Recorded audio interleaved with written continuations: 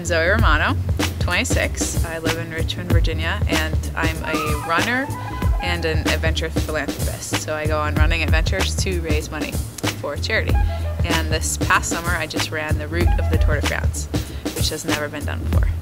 So the Tour de France in numbers is uh, just under 2,100 miles. I ran 2,022 miles, 30 miles a day for 10 weeks. I took every eighth day off. Um, 100,000 feet of elevation gain, 20-ish mountain passes, major mountain climbs, and I ran the last stage, 90 miles, the last cycling stage in one go in 23 hours as an ultra marathon to sort of, you know, do what the boys on their bikes of the tour do in one, one day as a runner. And one of the biggest ways uh, Physicool helped me with recovery which was huge because I was doing back-to-back-to-back marathons, more than a marathon a day.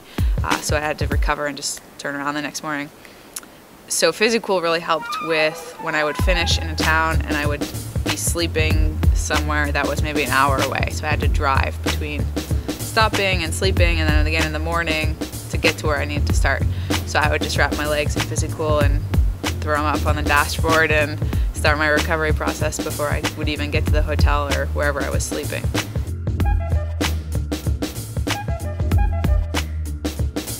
So Physicool is pretty unique in that you can reuse it and reuse it and reuse it. Um, so when you get it in the package you have the bandage which is already soaked in the liquid, sort of the re refueling liquid, um, the recharge liquid.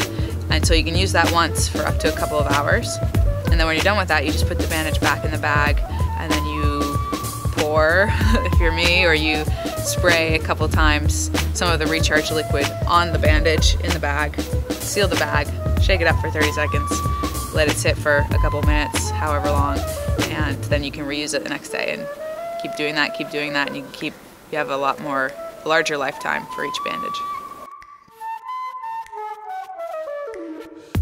So I use Physicool in the Tour de France, but I think it's for everyone. Uh, if you're running 5Ks, if you're running a couple miles a couple times a week, whenever you need recovery, it's really simple and it it can work on a large area of your body at once, so you don't have to, you know, using ice is more isolating, um, and Physicool actually draws the heat out, so it's more, it, it does more, I think, and can last longer periods of time. So absolutely, it's for any runner, biker, walker, whatever your exercise is, if you need help with recovery, Physicool can help.